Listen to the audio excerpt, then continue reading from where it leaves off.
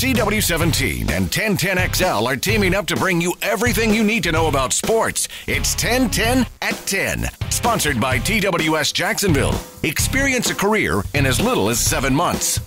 I'm Donna Murphy with your 1010 at 10 local sports update brought to you by Acopia Home Loans and Tulsa Welding School. Don't miss the hottest in-state baseball rivalry as it returns to downtown tomorrow night at 6 p.m. The Florida Gators will take on Florida State at the baseball grounds of Jacksonville. This year, both teams are ranked in the top 30 nationally and have their sights on a trip to the College World Series. Last year, more than 11,000 fans packed the grounds as Florida picked up a 4-1 win. Jacksonville University hosted a groundbreaking today on a new 2,000 square foot softball hitting and office facility. The project is the first to get started under the new JU Aspire campaign. The 2,000 square foot softball hitting facility will provide team members with a partially covered pavilion where they can play rain or shine.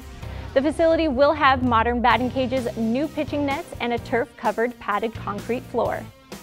The Sweet 16 is now all set for the NCAA tournament and the Sunshine State is well represented with Cinderella team Florida Gulf Coast, a 15 seed, facing off against 3 seed Florida on Friday. On Thursday, the Miami Hurricanes will be up against Marquette, which pins a 2 and 3 seed together. For the women's NCAA tournament, it's round 2, and tonight, just getting underway, it's South Florida and Cal, as well as Georgia and Iowa State. Don't forget to join Mike Dempsey and me tomorrow at 1 for the Mike Dempsey Show on 1010XL 92.5 FM. Lights, camera, sports.